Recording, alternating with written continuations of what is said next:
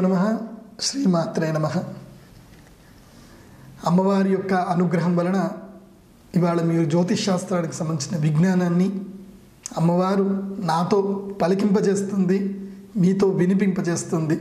So అంత అమ్మ అనుగ్రహంతో మనము ఈ యొక్క కార్యక్రమాన్ని వీక్షిస్తున్నాము మేము చేస్తున్నాము అయితే ఈరోజు భరణీ నక్షత్రం యొక్క రెండవ పాదంలో పుట్టినటువంటి వారి లక్షణాలు ఏముంటాయని మనకి సనాతన గ్రంథంలో ఏం చెప్పారు? ఆ విషయాలు తెలుసుకుందాం. ఇక ఇక్కడ ఏం చెప్తున్నారు అంటే భరణీ నక్షత్రం యొక్క రెండవ పాదంలో నపుంసకాంశ అని ఒకటి కాంట్రా ఇండికేషన్ చెప్పారండి. మొట్టమొదటిగా నెగిటివ్ చెప్పేశారు. అర్ధలోభి నపుంసక ఇంతేనండి. రెండే ఇచ్చేశారు. ద్వితీయ పాదస్య నపుంసకాంశ అర్ధలోభి నపుంసక. సో ఇది ఆలోచించాల్సిన విషయం ఏంటంటే అంటే ఇంతే కొంచెం చెప్పారు అని అంటే ఇక్కడ మనం ఏం అర్థం చేసుకోవాలి? ఎందుకోసమంటే సంస్కృతంలో గూఢార్థము నిగూఢార్థం కూడా ఉంటాయి. ఈ జాతకంలో భరణి నక్షత్రంలో రెండవ పాదంలో పుట్టినటువంటి వారు చాలా బుద్ధిమంతులు. ఇంత అంత బుద్ధిమంతులు కాదండి. వీళ్ళు ఎవ్వరికి కూడా దొరకనటువంటి బుద్ధిమంతులు. ఇక్కడ నపుంసకుడు అంటే అర్థము మీరు లింగ భేదాన్ని చూడకూడదు ఇక్కడ. నపుంసకహ నా పుం సహ కహ అంటే మనుషుల యొక్క మేధాశక్తికి అందనటువంటి మేధాశక్తి కలిగినటువంటి వారు అని అర్థం చేసుకోవాలి. అందుకోసం ఇక్కడ రెండు సార్లు చెప్పారు. నపుంసకాంశ నపుంసక అర్థలోభి అని చెప్పారు. అయితే ఒక విషయం మాత్రం నేను చెప్పవచ్చు వీళ్ళు చాలా భయంకరమైన వ్యక్తులు. వీళ్ళు ఏదైనా అనుకుంటే నిర్దాక్షిణ్యంగా దాన్ని సాధిస్తారు. అది మంచైనా చెడు అయినా సో బేస్డ్ ఆన్ వాళ్ళ పుట్టినటువంటి జాతకంలో ఒకవేళ పాపగ్రహాల యొక్క ఆధిక్యత ఎక్కువ ఉంది. లగ్న రాహు లగ్న కేతు లగ్న శని. సో అష్టమ రాహు ఇవి ఉంటే కనుక వీళ్ళు తప్పకుండా క్రూరుడు ఉంటారు. అసలు వీళ్ళకి దాక్షిణ్యం ఉండదు. దొంగతనాలు చేయడము అసలు నిర్దాక్షిణ్యం అండి వీళ్ళకి అసలు దయాజాలి తెలియదు. సో అలాంటి జాతకస్తులు ద్వితీయ పాదలు పుట్టినటువంటి వారు ఉంటారు అయితే దీంట్లో కొన్ని పాజిటివ్స్ కూడా ఉన్నాయి. పాజిటివ్ ఏంటంటే ఈ భరణి నక్షత్రం యొక్క రెండవ పాదంలో పుట్టినటువంటి వారికి సూక్ష్మమైనటువంటి బుద్ధి ఉంటుంది విపరీతమైనటువంటి జ్ఞాపక శక్తి విపరీతమైనటువంటి కోరికలు ఉంటాయి.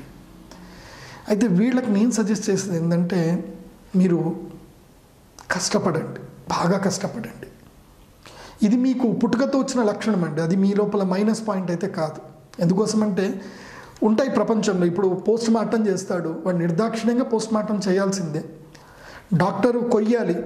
కోసినప్పుడు నిర్దాక్షిణ్యంగా కొయ్యాలి. దయ చూపిస్తే డాక్టర్ కొయ్యలేడు. సో పోలీసు క్రిమినల్స్ని చంపాలి. వాళ్ళు నిర్దాక్షిణ్యంగా చంపాల్సిందే క్రిమినల్స్ అన్నప్పుడు. కొట్టాలి నిర్దాక్షిణ్యంగా. జడ్జి గారు శిక్షించాలి నిర్దాక్షిణ్యం. సో దయ అన్ని చోట్ల ఉపయోగపడదు. కొన్ని చోట్ల అది కూడా బెనిఫిట్. కాబట్టి మీరేదో మీ అంటే ఇప్పుడు వాస్తవంగా నేను ఏదో విషయం చెప్తున్నాను అనేసరికి భరణి నక్షత్రం రెండవ పాదం అంటే ఓ నా భార్యను కొడుకు నా భర్తను రెండవ పాదంలో పుట్టారు. వాళ్ళ లక్షణం తెలుసుకుంటానని ఇలా తెలుసుకొని వాళ్ళ గురించి మీరు ఒక జడ్జిమెంట్కి రావద్దు. దయచేసి అది కూడా నేను చెప్తున్నాను. ఎందుకోసం అంటే నేను చెప్పడం వల్ల అందరు సంతోషపడాలి తప్ప జోషి గారు చెప్పేశారు నువ్వు బాగా క్రూరుడు బట అని చెప్పేసి అని కంక్లూషన్కి రాకండి. Because place and planetary position కూడా ఉంటుంది. బట్ ఏంటంటే ఇది నేను చెప్తున్న మాట కాదు. ఇది సనాతన జ్యోతిశాస్త్ర గ్రంథాల్లో చెప్తున్నటువంటి మాట. సరే ఇప్పుడు ఏం చేద్దాం? భరణి నక్షత్రం వాళ్ళకి ఎలాంటి ప్రొఫైల్ ఈ రెండో పాదంలో ఉన్న ప్రొఫెషనల్ ఎలా అంటే వీళ్ళు ఎథికల్ హ్యాకర్ అవ్వచ్చు. ఐపీఎస్కి ట్రై చేయొచ్చు. అండ్ ఆర్మీ వైపు ట్రై చేయొచ్చు. లేదంటే క్రిమినల్ లాయర్గా ప్రయత్నం చేయొచ్చు. ఇవన్నీ పాజిటివ్ కిందకి మనం టర్న్ చేసుకుంటే ఇవన్నీ కూడా ఉంటాయండి. బికాస్ క్రిమినల్ని పట్టాలంటే మనం క్రిమినల్ లాగానే థింక్ చేయాలి కదా. So be positive. సో ఇవి అశ్విని నక్షత్ర సారీ భరణి నక్షత్రం యొక్క రెండవ పాదంలో పుట్టినటువంటి వారి లక్షణాలు. సో కానీ ఒకటి చెప్తున్నానండి. భరణి నక్షత్రం యొక్క రెండవ పాదంలో పుట్టినటువంటి వారు డబ్బులు ఎవ్వరికి ఇవ్వద్దు ఇస్తే తిరిగి రావు. మీ లైఫ్ అంతా స్పాయిల్ చేసుకుంటారు. అది గుర్తుపెట్టుకోండి. అండ్ ఈ రెండవ పాదంలో పుట్టిన వాళ్ళకి డబ్బులు ఇవ్వకండి. తీసుకోకండి ఇవ్వకండి. అయితే నేను చెప్పేటువంటి విషయాలన్నీ కూడా మీకు అందరికి నచ్చుతుంది అనుకుంటాను. సో మీకు మీరు భరణి నక్షత్రం రెండవ రెండో పాదన పుట్టారు. కన్ఫ్యూజన్లో ఉన్నారు. ఏం చేయాలో తెలియట్లేదు. Just you contact me. నా కాంటాక్ట్ నెంబర్ ఎట్లా స్క్రీన్ మీద ఉంటుంది. నా పేరు గూగుల్లో కొట్టినా నా డీటెయిల్స్ మొత్తం వచ్చేస్తాయి. ప్రదీప్ జోషి ఆస్ట్రాలజీ అని గూగుల్లో మీరు కొట్టేస్తే నా ఇంటి అడ్రస్తో సా వచ్చేస్తుంది. సో చాలామంది ఫాలోవర్స్ కూడా ఉన్నారు. మీరేం చేయండి అంటే కనుక మీరు కావాలి అనుకుంటే కనుక ఫైవ్ థౌసండ్ కన్సల్టేషన్ ఫీజు ఉంటుంది. మీకు ఆన్లైన్లోనే ఫోన్లోనే చెప్తాను. లెవెన్ థౌసండ్ కన్సల్టేషన్ ఫీజు ఉంటుంది. త్రీ సెషన్స్ ఇస్తాను. ఫైవ్ థౌసండ్కి వన్ సెషన్ ఇస్తాను. సో మీకు ఒకవేళ ఒకటే క్వశ్చన్ ఉందనుకోండి అది కూడా నన్ను మీరు అడగొచ్చు. నేను ఏంటంటే అందరికీ అవైలబుల్లో ఉండాలని చూస్తున్నాను ఈ మధ్య. సో నా టైం బట్టి ప్రెషియస్ టైం బట్టి. సో కాబట్టి మీకు నేను చెప్పే వీడియోస్ నచ్చుతున్నాయని అనుకుంటున్నాను. ఎందుకోసమంటే నేను ఎక్కడ కూడా బ్లఫ్ చేయట్లేదు. ఉన్న విషయాలు ఉన్నట్టుగా కరెక్ట్గా చెప్తున్నాను. నా సంస్కృత విజ్ఞానముతో జ్యోతిష్ శాస్త్రం యొక్క అనుభవంతో చెప్తున్నాను.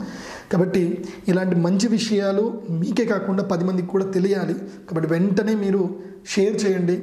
ఆ కింద ఆరో మాకు సింబల్ ఉంటుంది. దాన్ని మీరు టైప్ చేస్తే దాన్ని టచ్ చేస్తే కనుక కింద మీకు మీ యొక్క మొబైల్లో కానీ మీ యొక్క కంప్యూటర్లో ఉండేటువంటి షేర్ లింక్స్ అన్నీ వస్తాయి. సో వాట్సాప్లో మీ ఫ్రెండ్స్కి గ్రూప్స్కి అందరికీ షేర్ చేయండి. ఎందుకోసం అంటే మంచి విషయాలు మనం స్ప్రెడ్ చేయాలి. పది మందికి తెలియజేయాలి. అందుకోసం అంటే ఇవి తెలుసుకోవడం వల్ల వాళ్ళు వాళ్ళ జీవితాన్ని వాళ్ళు మంచి చేసుకోగలుగుతారు. అందరికీ మంచి చేస్తే మనకు మంచి జరుగుతుంది. సో సబ్స్క్రైబ్ చేయండి షేర్ చేయండి. పక్కనే ఉన్న గంటను కొట్టండి.